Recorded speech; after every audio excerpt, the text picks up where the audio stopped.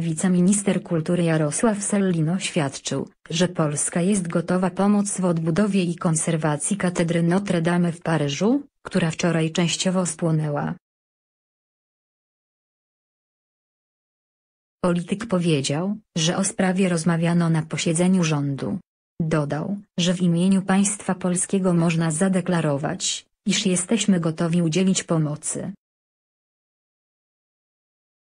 Polska jest otwarta na pomoc w postaci pracy specjalistów od ratowania i konserwacji zabytków ruchomych, a także od architektury gotyku, którzy pomogliby Francuzom w odbudowie uszkodzonych elementów katedry, Jarosław Sellin podkreślił, że Polska ma jedną z najlepszych w świecie szkół konserwacji zabytków, a nasi konserwatorzy są wysoko cenieni.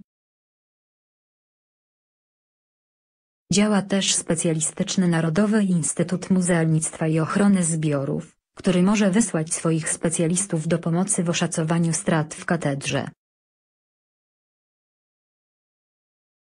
Pożar w paryskiej katedrze Notre Dame wybuchł wczoraj przed 19.00. Objął cały dach, wnętrze oraz jedną z wież. Iglica katedry, jeden z symboli Paryża, runęła.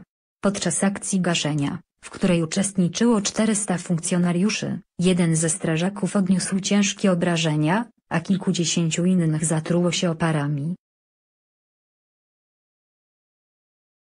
Przyczyny pożaru bada prokuratura.